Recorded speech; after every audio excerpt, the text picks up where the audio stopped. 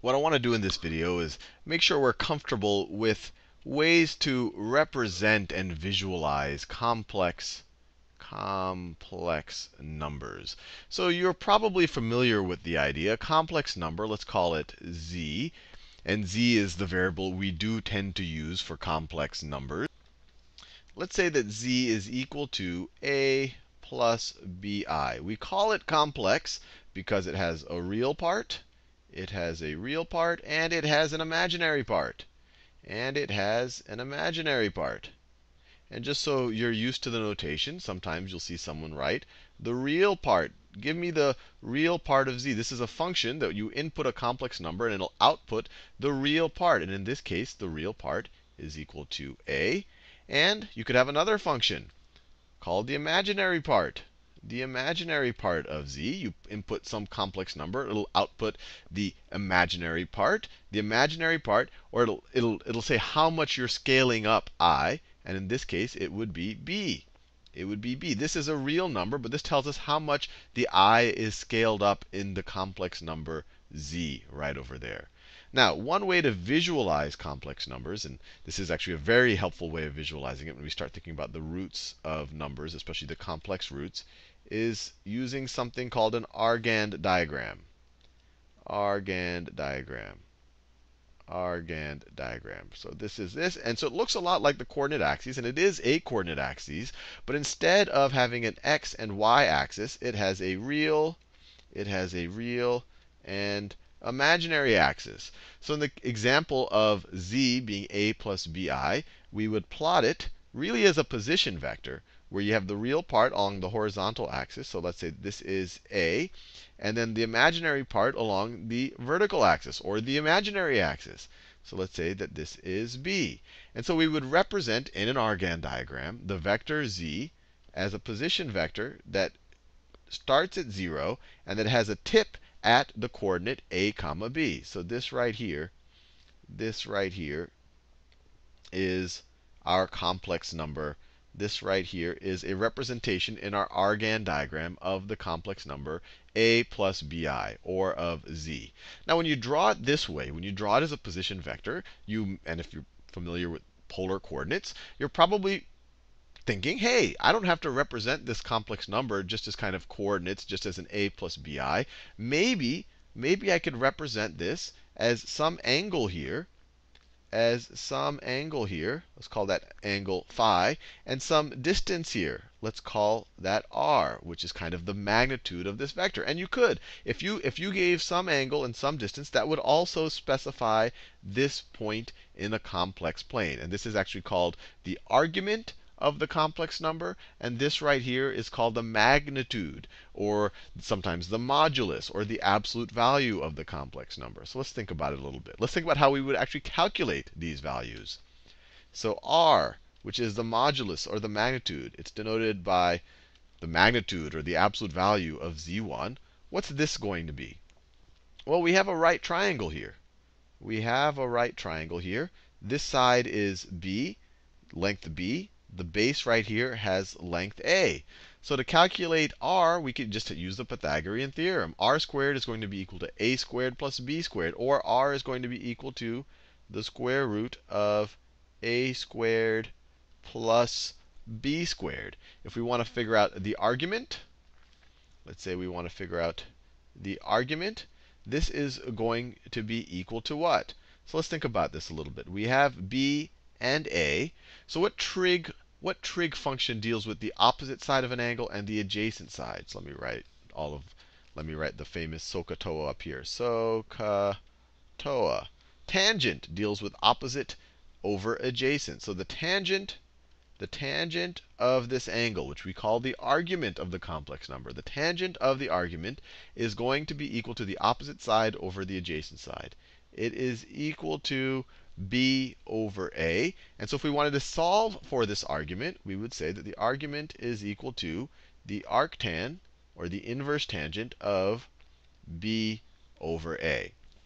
Now, if we wanted to represent, let's say we had we had the complex number, let's say that we were given the argument and the, let's say that we were given, let's say that we're given the modulus and the argument let's say we're given that, how do we go the other way? Right now, if we have the a's and the b's, the real and the complex part, I just showed you how to get the magnitude and how to get the angle or the argument. But if you're given this, how do you go the other way?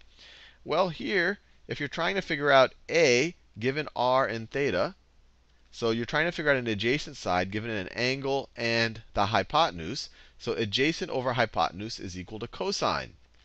So you would have cosine of the argument is equal to r is equal to the is equal to the adjacent over the hypotenuse is equal to a over r. Multiply both sides by r. You get r cosine of phi is equal to a. Do something very similar for b. If we use sine, opposite over hypotenuse, sine of the argument is equal to b over r is equal to b over the magnitude. Multiply both sides by r. You get r sine of phi is equal to b. So how would we write this complex number? So this complex number z, the complex number z is going to be equal to its real part, which is r cosine of phi, r cosine of phi, plus plus the imaginary part times i, plus r, let me do that same green, plus r sine of phi times i, times i.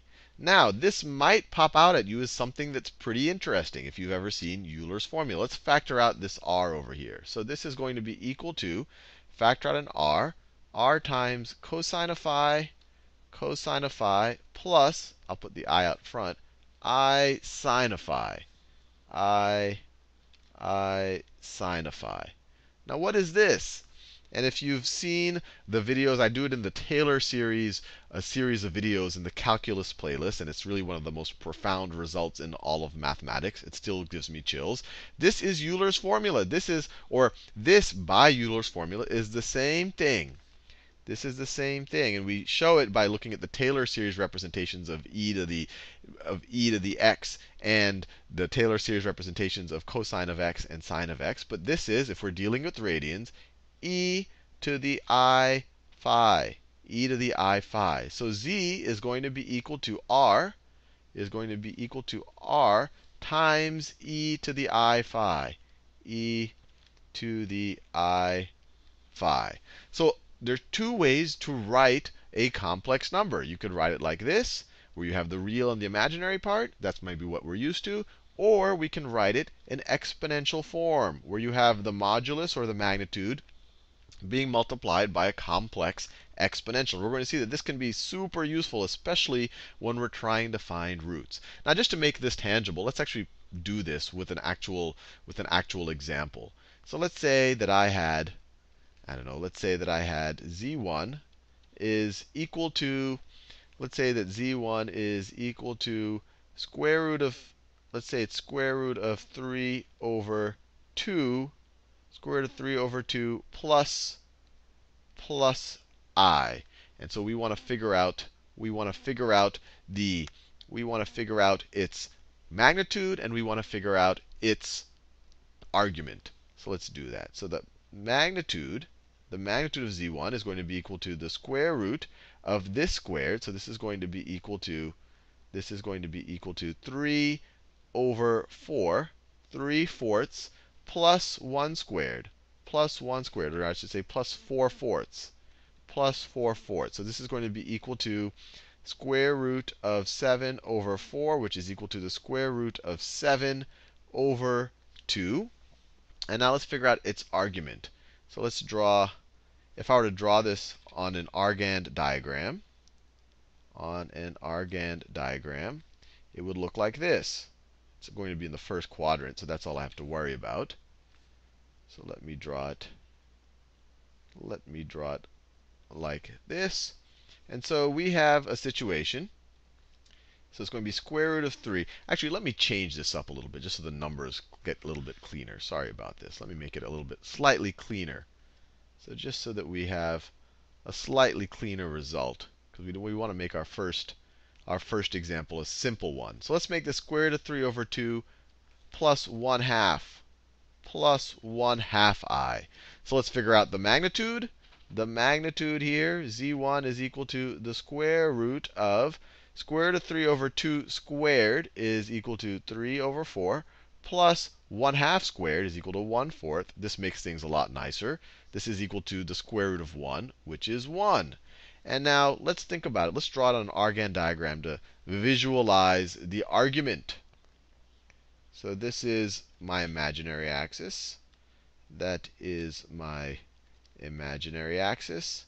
This is my real axis. My real axis.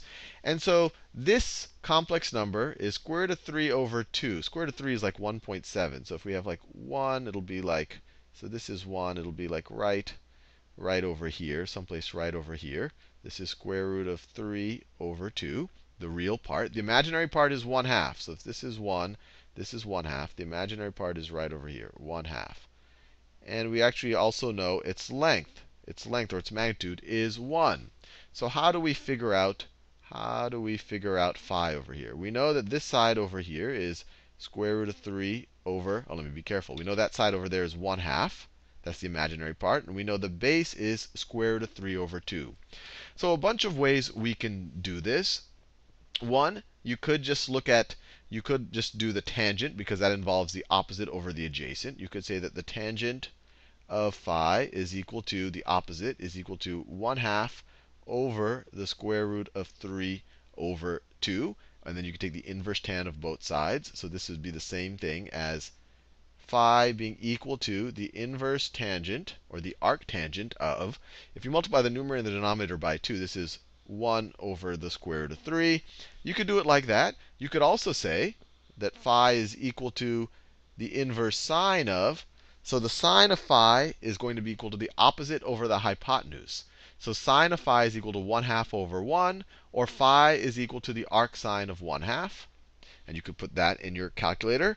Or you could recognize this is a 30, 60, 90 triangle. This base right here is square root of 3 over 2. This is 1 half. This is 1. So this angle right here is going to be 30 degrees. And that's just from pattern matching from a 30, 60, 90 triangle. You could look at these and also get something similar. Now, I want to put this in radian form, because whenever I use the exponential form, you want it to be in radians. So phi is equal to 30 degrees. Phi is equal to 30 degrees, which is the same thing which is the same thing as pi over 6. So if I wanted to represent z1 in exponential form, it would be the exact same thing as r, or its magnitude, which is 1. I'll put the 1 out there, even though you really don't have to. 1 times e, 1 times e to the pi over 6i.